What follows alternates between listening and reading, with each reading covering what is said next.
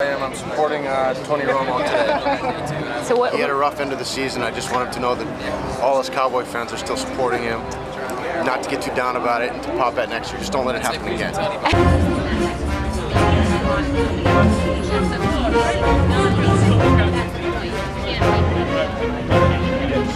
I want to see. Uh,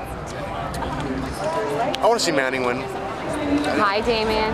How are you, Bethenny? What do you got going? Uh, I am down here with uh, IGotShotgun.com and I'm hosting the uh, celebrity go-kart race today. All right, Melina, is that your car? I wish.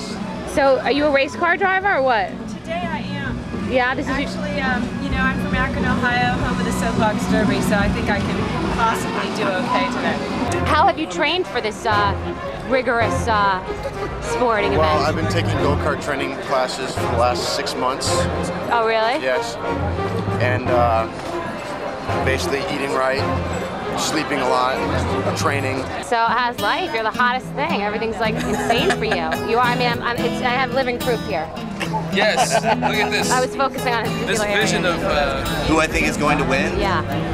I have a strong suspicion that Nick Lachey is going to pull away with the win today. Oh wow, you think he's like the long shot dark horse coming around the corner? Well, I don't want to say a dark horse, but I would say I think you might go with a Rudd, you might go with a Duhamel before you go with a Lachey. I'm going for the Lachey, and we're going to see what happens. You-